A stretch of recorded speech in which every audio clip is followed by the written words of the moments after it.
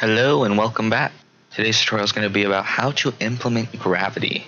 Let's just get right into it. This is actually going to be a tutorial that I think is going to be a little bit more useful. Past ones were kind of basic, get you started, what's going to be happening type of thing. This is this is where things get fun. So let's go into our player object here. Where you'll want to be putting gravity is in your step event. GameMaker does have its own functions that you can apply gravity. It works, but does not work well. I'm going to show you why. So if we go in, you can set gravity. You can say gravity, make it equal to 5 for the sake of things. And see what that looks like. Right off the bat, you're going to see just how broken things are. First, it's put us into the ground. And part of that, that's there's some reasoning behind that. I can show you better with this other room, I believe. So what happens with the in-game gravity from GameMaker? After you, in your step events, you have all your game logic, all your code, what you want your game to do. Not until after all of that does gravity take effect. So gravity takes place after your step event. Why? I don't know. As you can see though, it breaks things. And not in a way that you would ever want things to be broken. As soon as we disable that, just a proof of concept that what I'm actually going to be showing you works, let's delete that. And as you can see, having your own custom gravity is much less broken. In fact, some might say it's better. So now you see it, now you want it. So let's get over and show you how, to, how that happens. What you're going to do is you're going to make a script. You're going to right click, create script. You have your empty script and name it to whatever you want. Have fun with it. Um, I already have have my script done, and this is what we're going to be looking at. So basically, three parts. First part is you're going to have some variable, name it whatever you want. Mine's just VS because I know it's related to my vertical speed. And personally, I think 1.25 works and it works well. I'll tell you later what that works for. But this is a directional check. So depending on your direction, this number changes, and that comes into play later. The actual gravity itself, this is where gravity logic happens.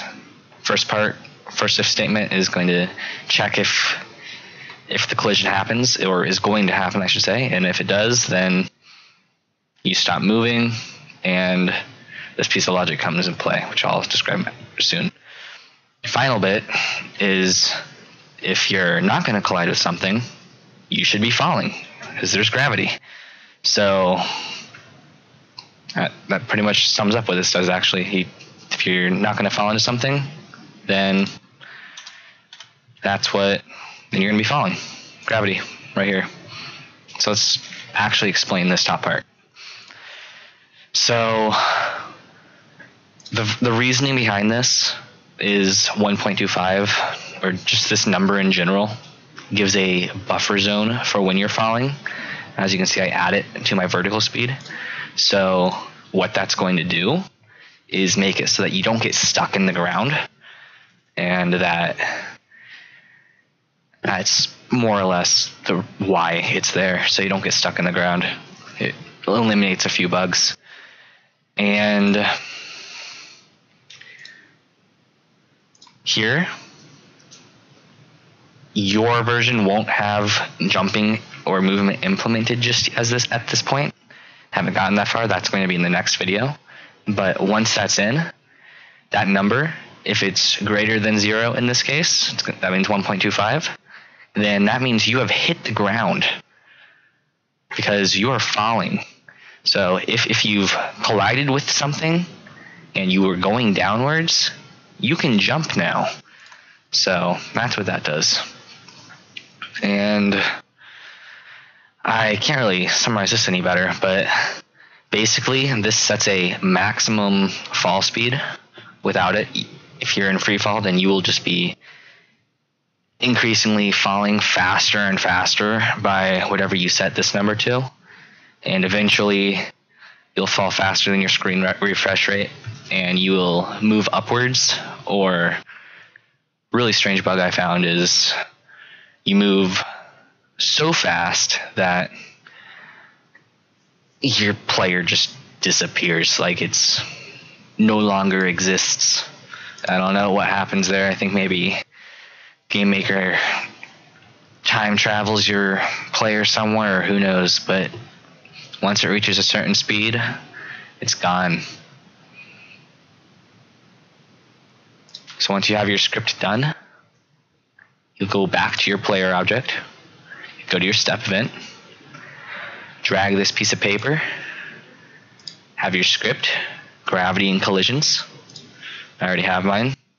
But keynote, if you have an undefined script, the game will crash. So make sure you don't have any undefined scripts.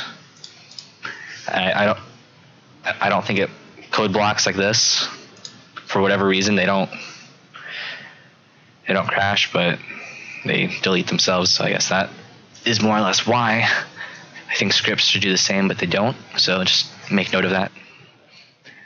But as you can see, with your new gravity, you fall. Not only do you fall, you hit the ground.